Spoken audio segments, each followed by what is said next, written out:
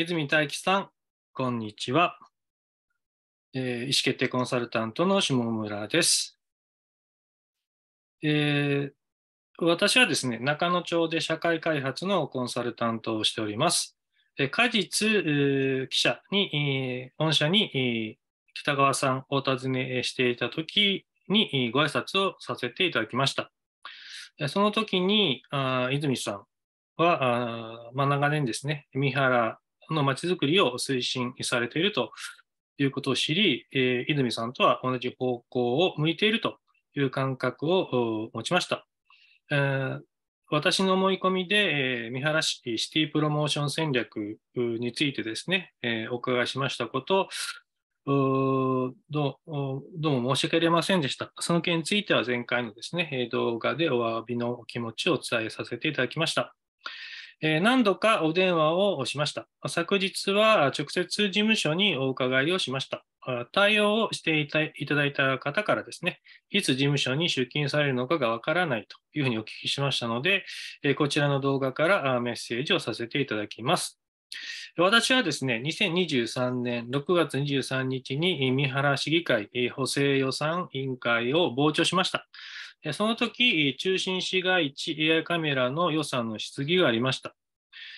この件につきましては、三原市役所商工振興課の本林さんからですね、事業計画そのものはまちづくり三原で立案されていることを教えていただきました。またですね、本林さんからは、え、犬さんには委員会での質疑内容はお伝えになられたというふうにお聞きをしております。私は AI 開発と AI を安全安心に社会実装する仕組み作りの専門家です。2015年から2022年まで東京で AI 製品の開発と仕事の自動化の両面から情報収集をして様々な専門家と意見交換をしました。その結果として次世代の AI 開発コンセプト、それを開発し、それを安全安心に社会実装する仕組みのモデルを作りました。電子機器、カメラ等を使った人流の測定につきましては、個人情報の保護の観点を含め、社会的合意の形成過程であるというふうに私は理解をしております。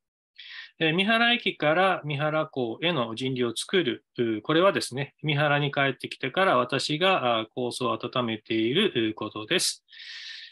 えー、まちづくり三原の職員の方にもお願いしましたが、まちづくり三原で立案された計画の内容を教えてください。えー、三原中を巻き込んでえ三原を活性化させましょ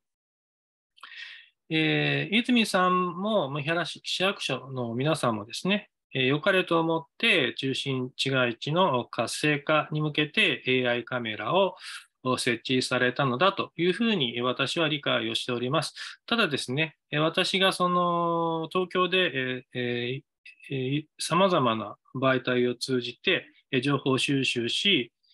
えー、まあ、個人情報の観点からもですね、え今後デジタル社会において、え個人情報を収集するということに関する、まあ、課題や問題点につきましても、それがご専門の方とお会いをしてですね、お話をしてきました。新しいですね、取り組みをするときには、もちろん良かれと思って、それに取り組まれている方々がそれを推進されるということは、あ理解をしているんですけれども、うん、まあ、どのような、えー、背景、バックグラウンドを用い、どのような、まあ、リスクマネジメントをですね、されながら、AI カメラを三原の中心市街地に、まあ、設置されるのかということをですね、お話をあのお聞きさせていただいて、えー、私もですね、あの、三原発グローバル産業を推進するという立場から、あ三原の活性化に取り組んでおります。えー、三原の市民の方々のですね、あのまあ、個人情報に関する、まあ、ご心配等がですね、えー、ないような形で、まあ、AI カメラが設置されているということを、まずはですね、私自身があの理解をしたいというふうに思っております。ぜひですね、あの、お忙しいと思いますが、えーお時間を取っていただいて、えーカメラ設置の計画及び、えーそのカメラを使ってどのような試みをして、えー市街地の活性化につなげていく、いかれるおつもりなのかというところをですね、あの、お話を聞かせてください。えー三原寺をですね、巻き込んで、えー三原を活性化させていきましょう。えーでは、ご連絡をお待ちしております。えーそれでは、あこれにて、えー失礼いたします。